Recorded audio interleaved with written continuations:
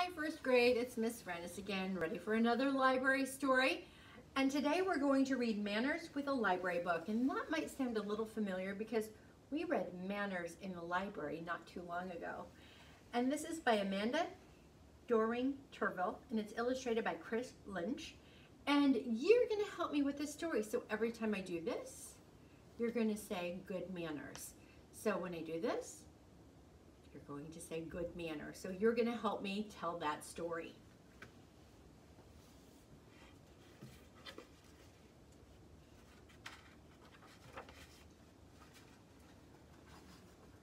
The library is a great place to check out books.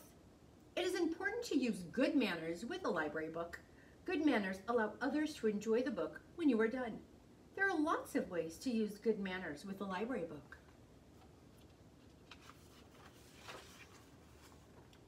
Tia and her brother, Jaden, each find two books at the library.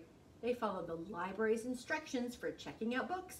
They're using good manners.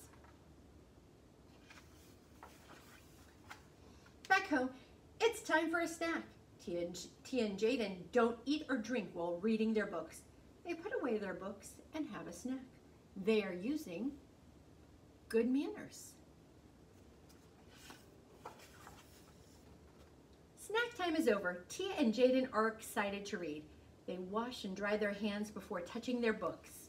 They are using good manners.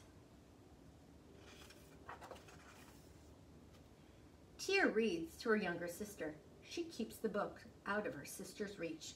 Tia makes sure that her sister doesn't rip or stain any of the pages.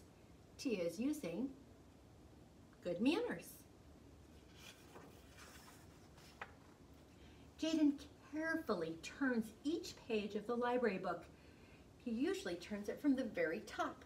He doesn't want to tear any of them. He is using good manners.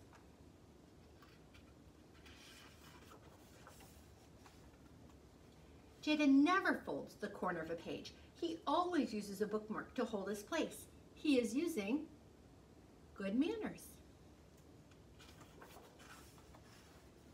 Tia and Jaden keep their library books in bags. They make sure their pets cannot reach the books. They are using good manners. Tia's books are due, but she's not done reading them yet. She goes to the library to renew the books. She is using good manners.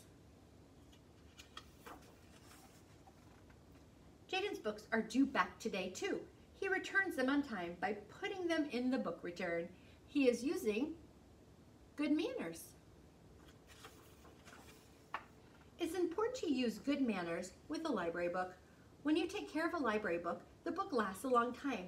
Many people in your community will have a chance to read them. And here are some fun facts about um, library books and libraries. The world's largest library is the Library of Congress in Washington, D.C. There are more than 123,000 libraries in the United States. The first book ever made using a printing press was made in Germany in 1456. What is believed to be the world's first library was opened around 283 BC in Alexandria, Egypt. The Library of Congress contains materials in about 470 different languages. People from all over the world can now read many books online. So boys and girls, that is Manners with a Library Book. And soon you'll be checking out library books. And I hope you know how to use them. So this week you can work on your manners with library books. So what you're going to do is you're going to color the picture that shows proper library book care and you're going to cross out those pictures that don't show proper library book care. So I hope you have fun and I'll see you next week. Bye.